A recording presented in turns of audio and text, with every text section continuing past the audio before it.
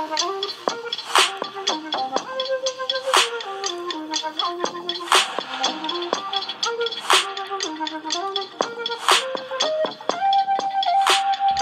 is up YouTube? Welcome back to my channel. It's your girl Lex and I am back once again with another makeup tutorial.